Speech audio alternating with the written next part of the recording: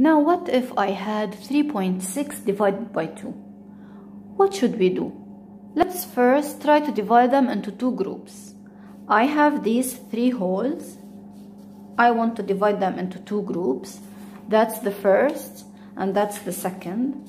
How shall I divide this among these two groups? What shall I do? We all know that the one whole, the one, is the same as 10 tenths or I could divide it into 10 tenths. Here I've divided one, one already into 10 tenths. Okay, so I'm going to exchange it as if I cut it into 10 tenths.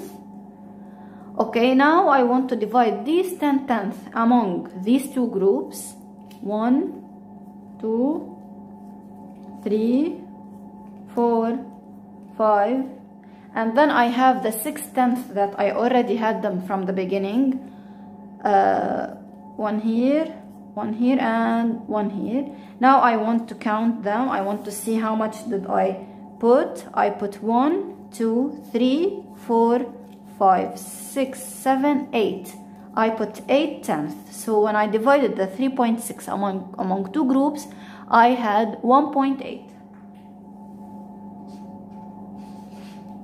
1.8.